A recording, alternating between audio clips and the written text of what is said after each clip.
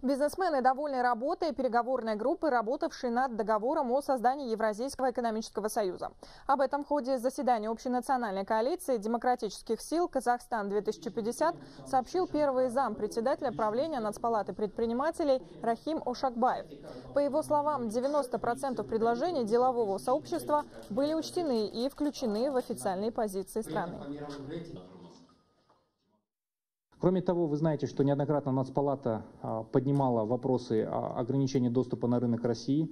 То есть это вопрос не сколько с а, там, а, негатива самой интеграции, а именно вопрос того, что национальные регуляторы, они не соблюдают те условия интеграции, которые, о которых договорились. И здесь э, тоже в институциональной части прописана возможность, э, в том числе Национальной палате предпринимателей, уполномоченным органам, напрямую подавать э, в суд Евразес и опротестовать действия вот, российских госорганов, если они чинят препятствия. У нас э, был такой принцип, если Национальная палата выступает против, мы этот вопрос вообще не обсуждали, пока мы э, не договаривались. Поэтому, э, раз мы говорим, это создаем экономический союз, а раз экономический союз, это должно быть в интересах наших предпринимателей.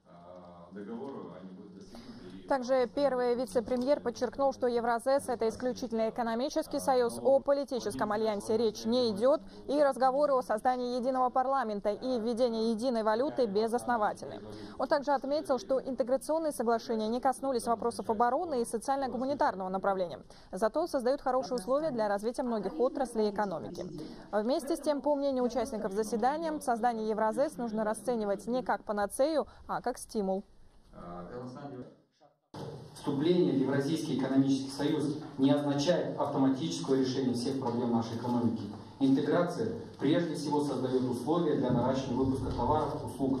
Для того, чтобы занять ниши на рынке АЭС, казахстанский бизнес должен наращивать производство, увеличивать ассортимент, повышать качество продукции. Важно, что основные выгоды получат простые потребители, граждане